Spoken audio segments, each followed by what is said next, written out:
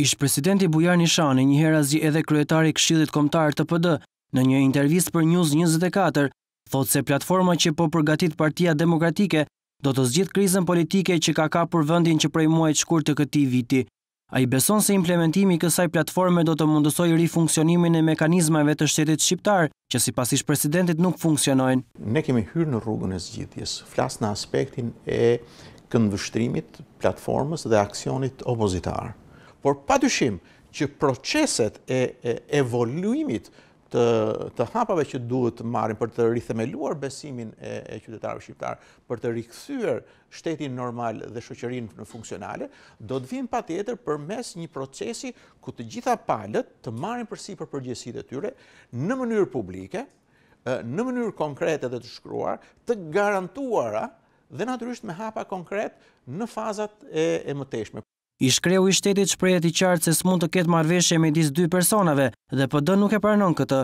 Sipas tij, marrëveshja për zgjidhjen e krizës duhet të jetë gjithëpërfshirëse dhe transparente me qytetarët. Është krijuar ideja që marrëveshja ka të bëjë vetëm me uljen e dy njerëzve në kafene, në zyrë, jashtë vëmendjes së opinionit publik, por Kjo është një çështje e cila nuk është fare në axhendën e opozitës.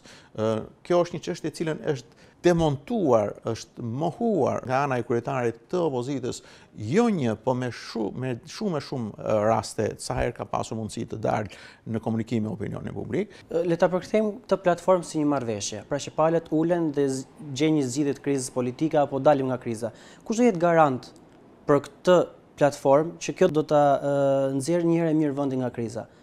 Garant do të jenë mekanizmat, pikërisht ato mekanizma të cilat do të jetësohen në këtë platformë, që do të thotë njerëzit të cilët kanë shkelur rëndë ligjin, njerëzit të cilët që kanë deformuar vullnetin politik të qytetarëve shqiptarë, njerëzit të cilët kanë deformuar mekanizmat institucionalë të shtetit shqiptar duhet të bëhen përgjegjës. E konsideroj dhe e shikoj si një marrje e përgjegjësive nga secili aktor i shoqërisë shqiptare. Çfarë mendoni se do ndodhë në qoftë se kryeministri Rama nuk e pranon këtë platformë të opozitës si zgjidhje, ose të ulet në tryezë? Do të ketë një reagim shumë të fuqishëm dhe natyrisht këtu pastaj është dhe detyra dhe përgjegjësia e opozitës që ta adresojë këtë me mekanizmat e demokracisë.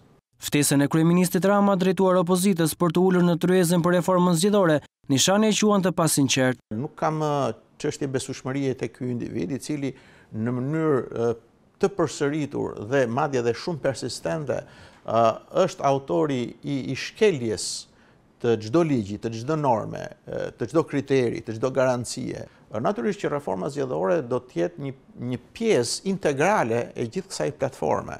Por reforma zgjedhore nuk mund të ketë asnjë lloj garancie cila do të jetë korrigjimi, ndryshimi i gërmës apo i nenit të shkruar në një copë letër, nëse mekanizmat e e shtetit ligjor, e shtetit së drejtës, nuk janë rikthyer, jo thjesht përmes shkrimit në letër, po përmes funksionimit. Ish-presidenti bëri edhe një koment për Komisionin Hetimor, i cili kërkon të shkarkojë presidentin Meta për shkelje të Kushtetutës. Nishani e konsideron atë të turpshme dhe të motivuar politikisht.